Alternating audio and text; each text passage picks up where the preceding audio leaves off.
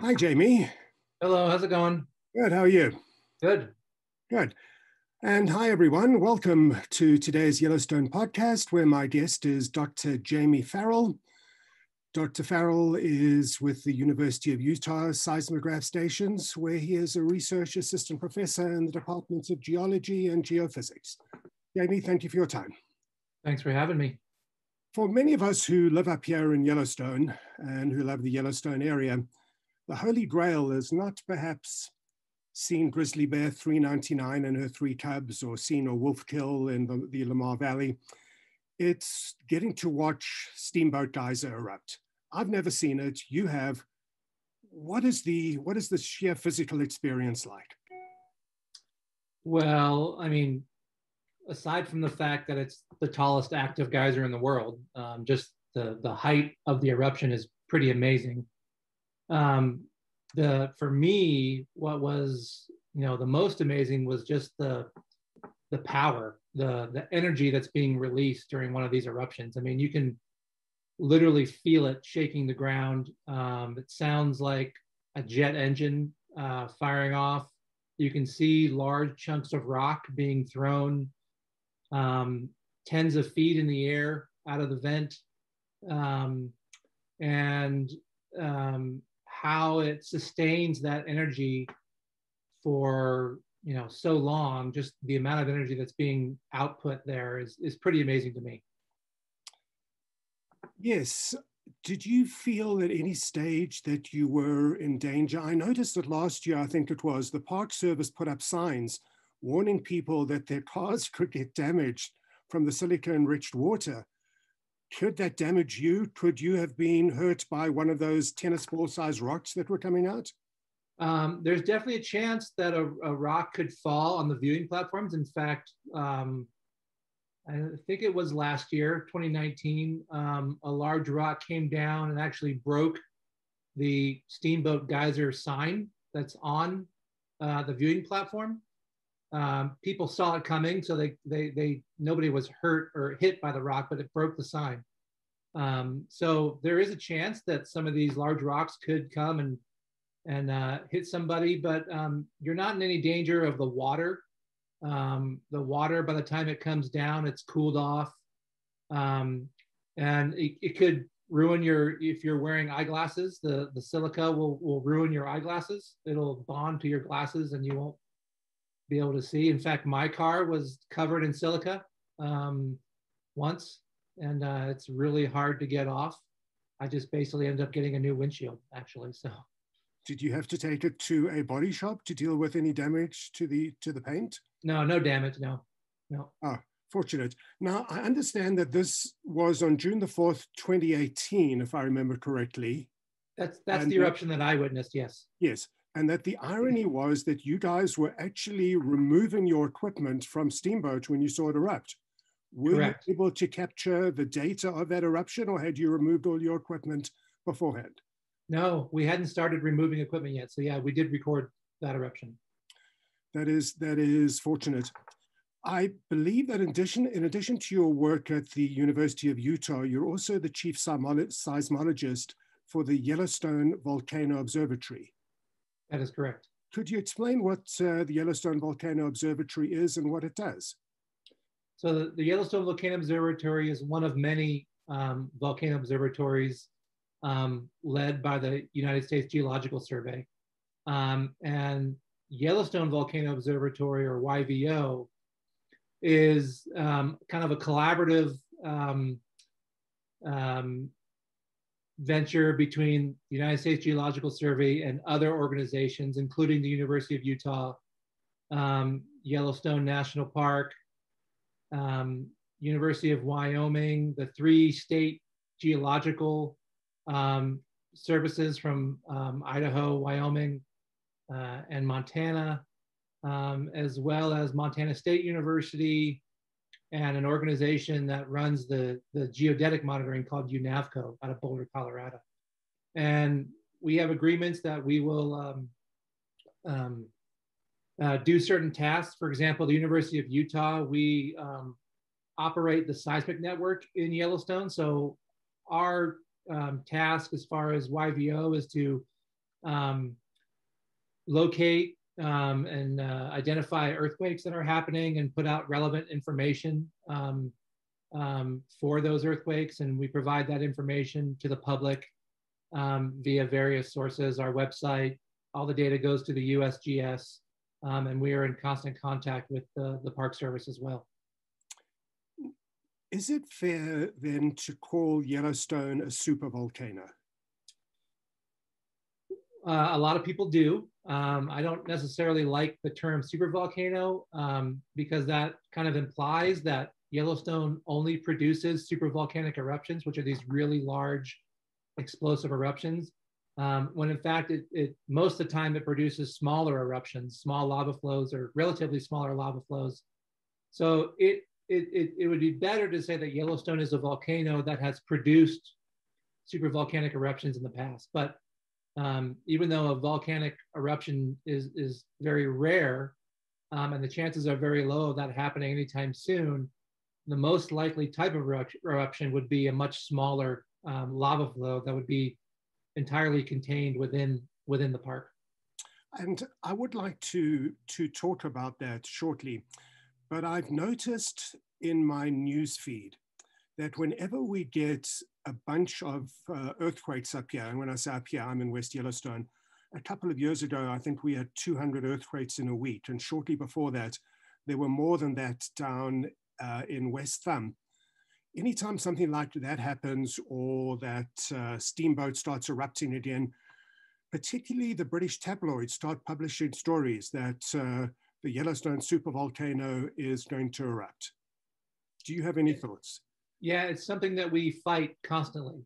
Um, this kind of over dramatization of the of the threat um, of Yellowstone, and you know, you talked about um, uh, rises in earthquake rates. And, and in Yellowstone, we get what we call earthquake swarms, where we get this large amount of, of earthquakes, this high rate of earthquakes in both space and time. Um, and they happen quite often in Yellowstone. In fact, about half of the total seismicity in Yellowstone um, occur as part of earthquake swarms. And sometimes they're larger, sometimes they're smaller. Like they can be they can last for only a few hours and have only, you know, 10, 20 earthquakes, or sometimes they can last for almost a whole year and have thousands of earthquakes in them. And every time that happens, um, we get this uptick in interest in the Yellowstone volcano and um, kind of these doomsday scenarios that it means it's about to erupt. And it's just not the case we discussed earlier, we communicated earlier about a lecture that you gave, I think it was in 2018, at the uh, Old Faithful Rec Hall. As you know, the Park Service here in Yellowstone does a fantastic job of providing training to tour companies such as ours. And I attended one of those lectures, and there were two main things that I took away. One was, if I recall you correctly. You said that there were three factors that needed to occur contemporaneously for there to be a chance for a Yellowstone volcano to erupt. Yeah, I mean, in, in, in our sense, though, we in Yellowstone, we monitor for earthquake activity, we monitor for ground deformation. We don't, another organization does. Um, and the Park Service and USGS monitor the hydrothermal system um, for you know changes in activity. They monitor um, the amount of gas um, that's being released um, in certain parts of the park. Um, so, you know what I what I often tell people, what I probably said during that lecture you you you referenced, is that you know when you have an uptick in one of those, say like an earthquake swarm, where you have high rates of seismicity, and nothing else changes. There's no related ground deformation. There's no changes in the hydrothermal system um, that probably means that there's not um, magma moving up into the shallow crust.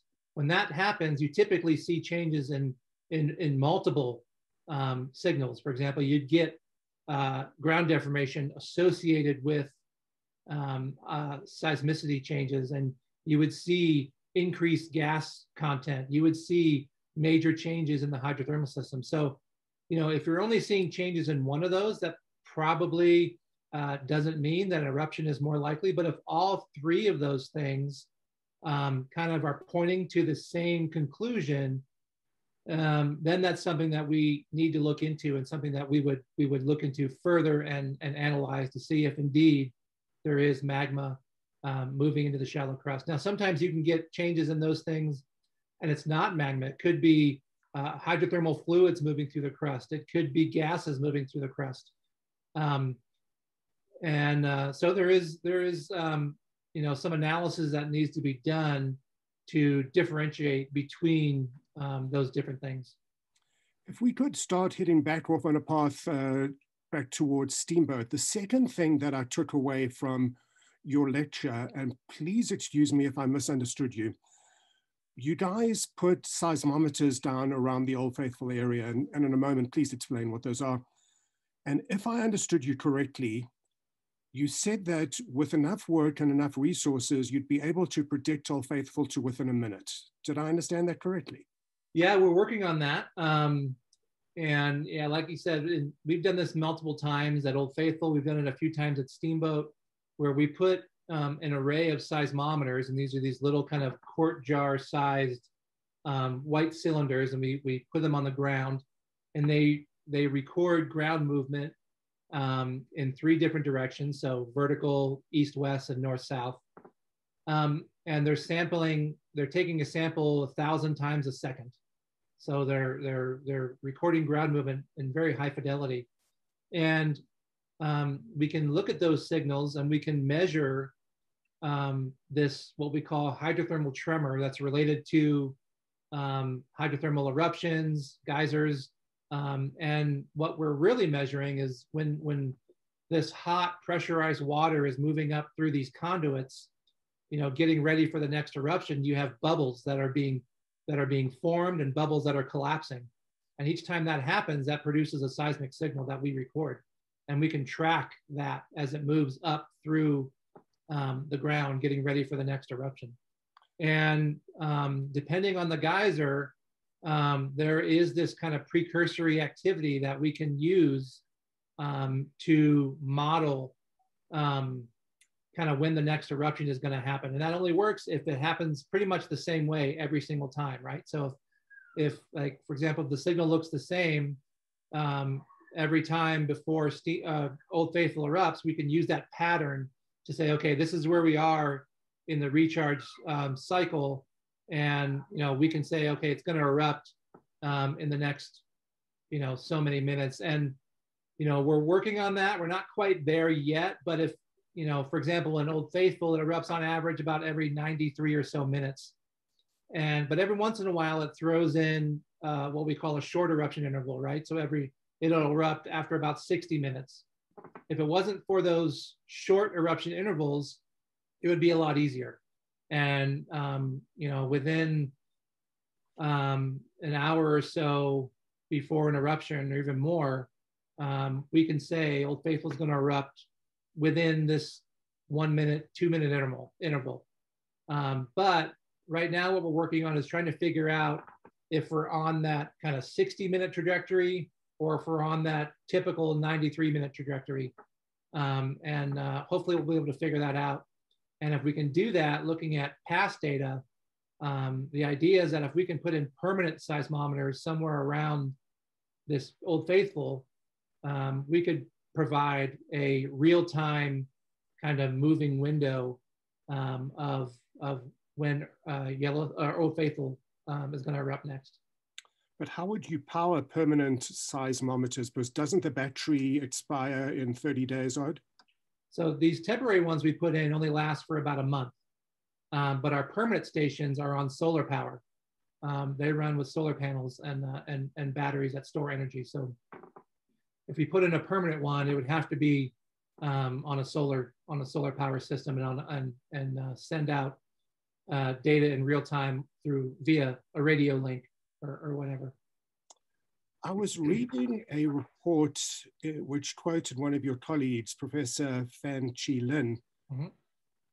who said that scientists do not currently know what it is that causes a geyser like Old Faithful or Riverside or Daisy to erupt on a regular basis compared to Steamboat. Do you have any thoughts on that? Yeah, that's one of the reasons why we do some of these experiments to try to figure out that. Why are some geysers predictable? Why are most geysers not predictable? Um, in fact, the rarity is having a predictable geyser. Um, most of them are not predictable at all. And one hypothesis is, is that these geysers that are predictable tend to be kind of off on their own. Um, and the idea is that these geysers that are kind of by themselves um, and aren't connected to any nearby features, they don't have to compete for water. They don't have to compete for energy and heat um, like some other geysers do. Like for example, Steamboat. We know Steamboat is connected to Cistern Spring, right? Because every time Steamboat has a major eruption, Cistern completely drains. Could so I the just... two the two are connected at depth, and that competition for water and heat um, complicates the system and could make it so it's not predictable. And that's one hypothesis that we're trying to look at. And but of course, we have to collect data um, for many more systems in order to, to prove that or disprove that. With respect to the link between Cistern Spring and Steamboat, I was going to come to that later. One of your other colleagues, um, Sin Mei Wu, and I apologize if I get the get the pronunciation incorrect. In a paper in which I read, in which Mara Reed was the lead author, I think she said, and I stand to be corrected, that you were not able to find a link between or connection between Steamboat and Cistern Springs in the first perhaps 140 meters. And she postulated that maybe the water is somehow seeping through the rocks. Yeah, so we, we don't see a direct connection between the two, um, um, like you said, within the first 140 meters, which is the depth to where we have good resolution. So that means one of two things. Either the connection is deeper than that and we just can't see it, or the connection isn't isn't um, is aseismic. It doesn't produce seismic signals that we're recording. So what that means is that the connection is probably through a kind of a diffuse system of, of fractures um, and cracks and not just like an open conduit, um, which is, is, is a possibility that they're connected through a more kind of uh, um, complicated system of fractures um, within that top 140 meters. So we're actually gonna go back this spring, hopefully, and put in another array um, and it's going to be larger so we can see deeper. And we'll kind of test that out. If we can see a connection um, deeper than 140 meters, um, then yeah, well, that, that'll be awesome. But if not, then yeah, that, that hypothesis that they're connected um, at the more shallow level, but through a, you know, a system of fractures and cracks and not an open conduit would be our preferred um, interpretation. Yeah. For a layman like me, I'd just like to explain to our to our listeners and our and our viewers when steamboat erupts, there's a hot pool, a um, a spring just around the corner down a flight of stairs. And I remember going there last fall, early one morning, and this steamboat just didn't look the same. And I went down the stairs, and sure enough, Cistern was either filling up or it was empty, and one of the two. So I mm-hmm. clearly just missed an eruption. Could yeah. you just elaborate on that a bit? Yeah, so what happens is when you have a, a major steamboat eruption, um, within the next, let's say about an hour after the eruption, Cistern, the water level will start to go down and it'll slowly drain over the next um, 10 or so hours. And within a day, it's completely empty. And then it'll just start filling back up. And um, within about, I'd say, I don't know this for sure off the top of my head, but within, you know, two or three days after the eruption, uh, cistern will be full again and overflowing until the next eruption. So um, again, you know, because th this has been a well-known um, feature for a long time. Since the 60s, people have noticed that this this has occurred after major eruptions of steamboat, and it's it has occurred after every single eruption that I know of um, up until the present. Um, so we were interested to see, you know, how we could image that connection and, and what is the nature of that. So in conjunction with our seismic deployment, the Park Service had put in uh, temperature loggers um, in Cistern um, and pressure transducers within cisterns. So we can track the water level, we can track the changes in temperature in relation to the seismic signals. And there's very, very interesting relationships between those two. For example, what we noticed is that right after a steamboat eruption, the temperature in cistern immediately starts to drop slowly, but almost an immediate response to the eruption. But the water level actually waits for about an hour till it starts draining. So that's interesting. Um, it's something that we could look into further.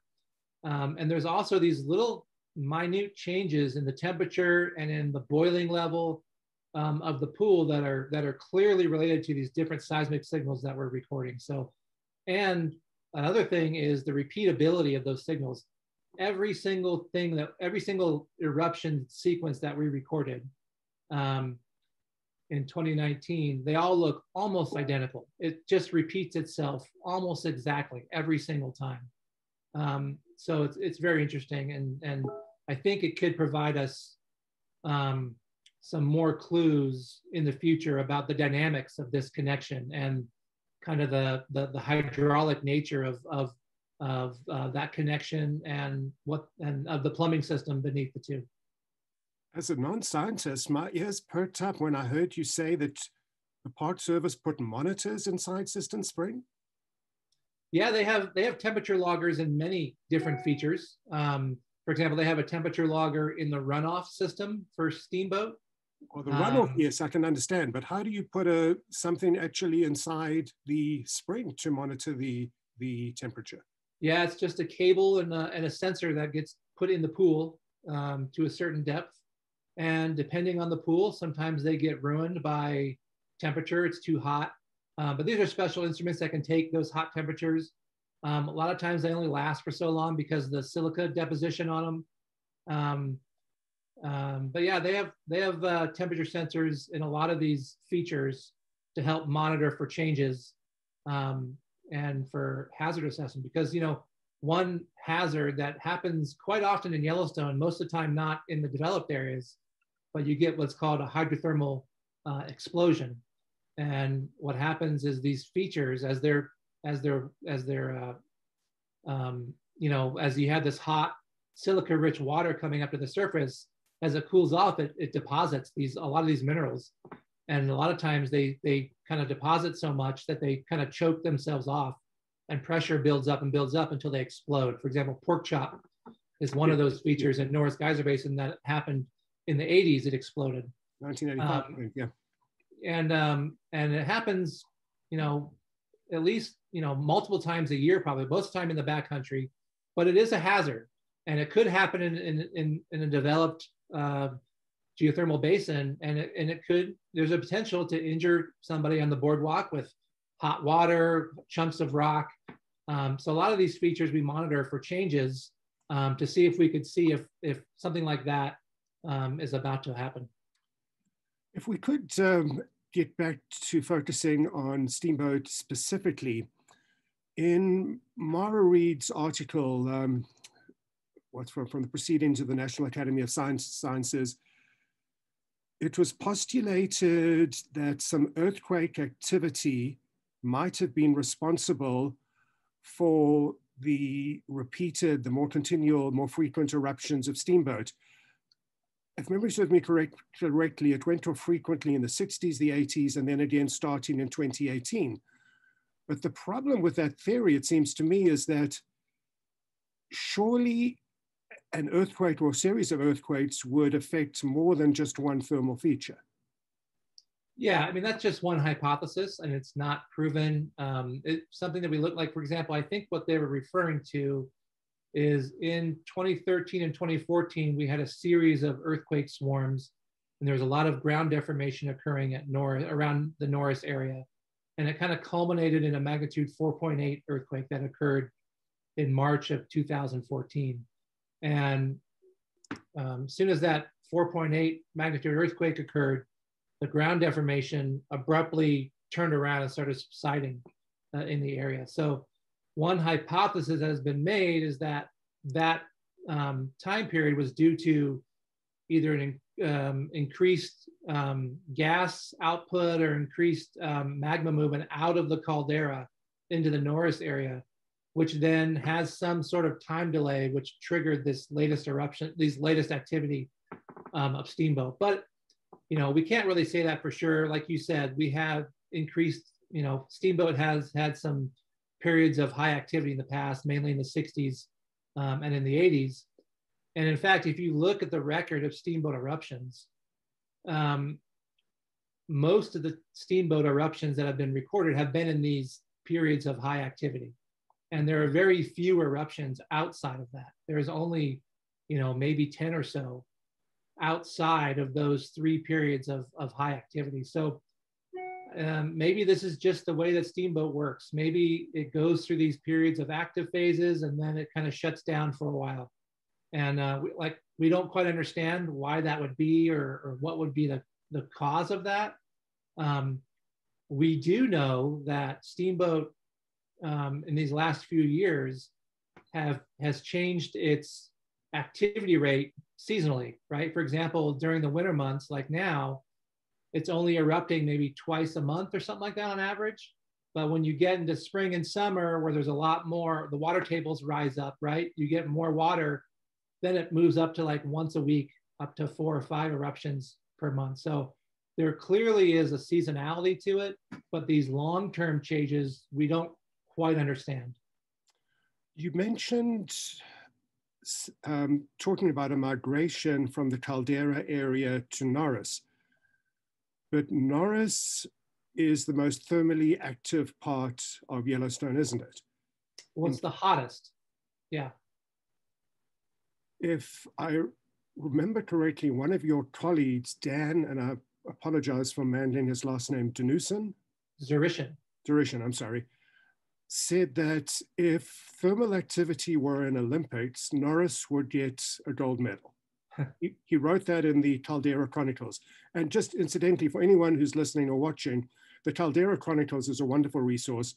I generally read it on the Billings Gazette, which is a local newspaper. Go to billingsgazette.com. It's, it has some great articles. In fact, you wrote one, didn't you, on your personal experience watching uh, Steamboat erupt? Correct. Yep. Yeah. Um, so, with Norris being so thermally active, is it any surprise that we're seeing what we're seeing at the moment? No, one reason why Norris is so interesting is that one, it's the hottest of all the of the thermal basins um, in the park, and it's one of the most dynamic. So it sees more changes um, in activity um, than the other geyser basins. Um, for example, in, in Norris, we have what we call these thermal disturbances, to where you know this happens you know, annually or, or a few times a year, um, where you see these widespread basin-wide changes to where features will get more turbid or they'll change their eruptive behavior. And it lasts for a little while and then it goes back to normal. And these, um, um, these thermal disturbances um, can be recognized based on uh, certain indicators um, certain um, features tend to respond to these disturbances more than others.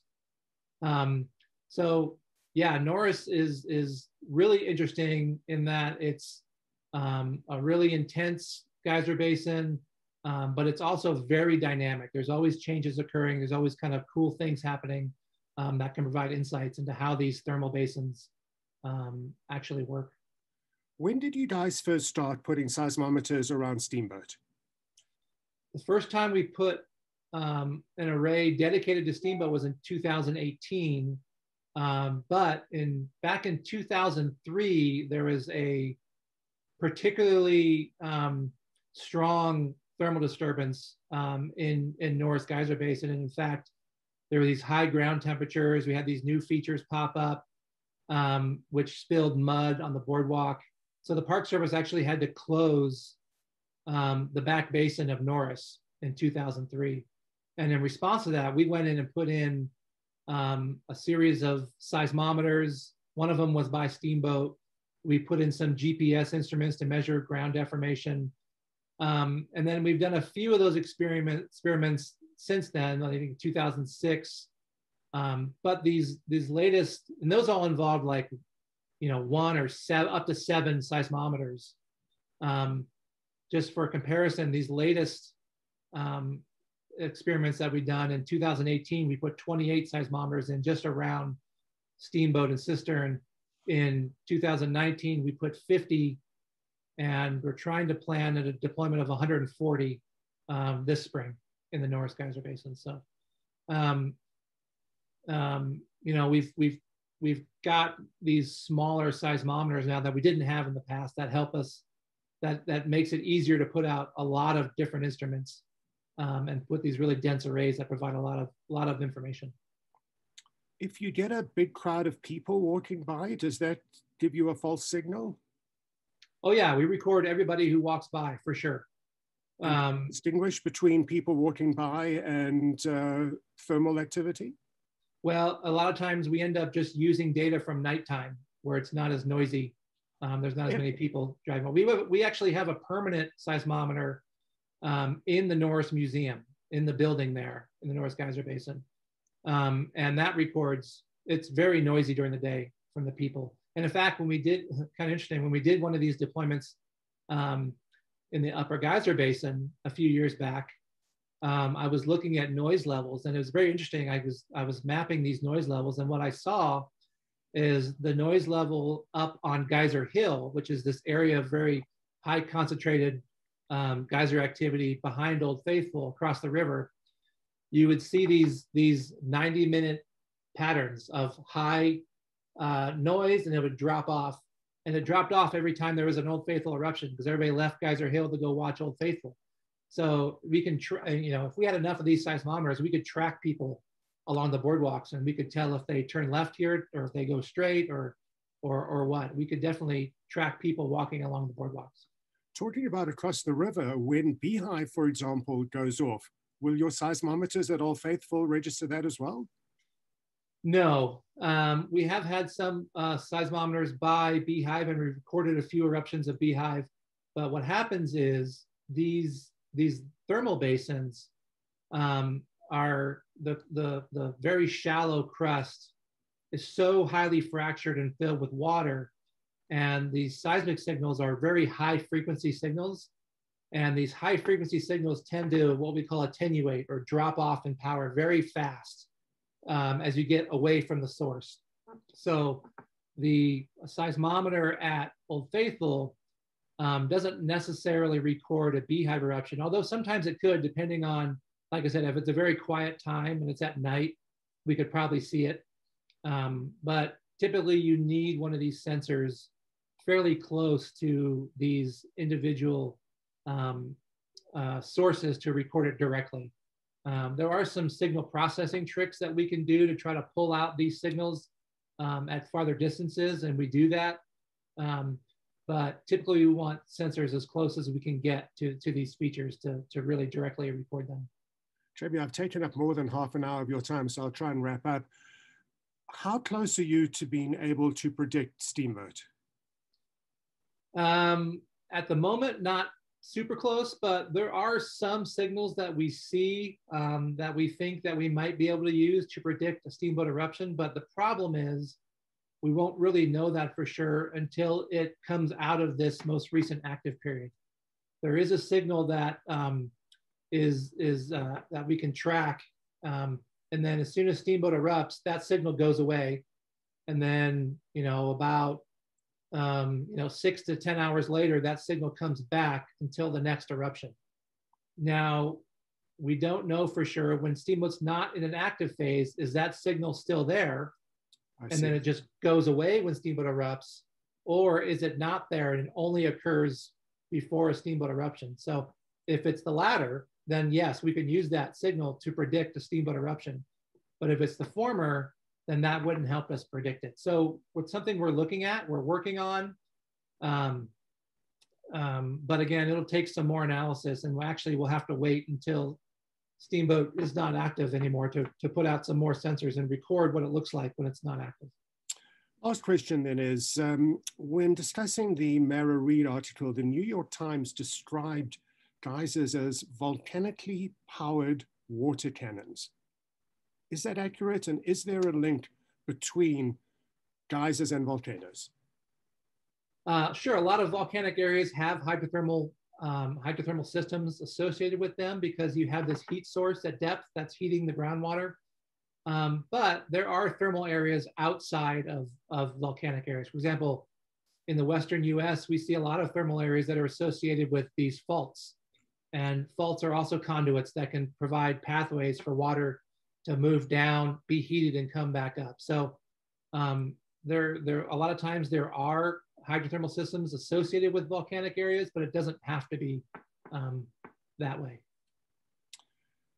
Jamie, thank you for your time. My guest today was Dr. Jamie Farrell from the University of Utah Seismograph Stations. Jamie, perhaps we could catch up again uh, once you've done your experiments this season. Yeah, I'd love to. Thanks for having me. Thank you. Thanks for the time. Bye-bye. Yep. Bye-bye.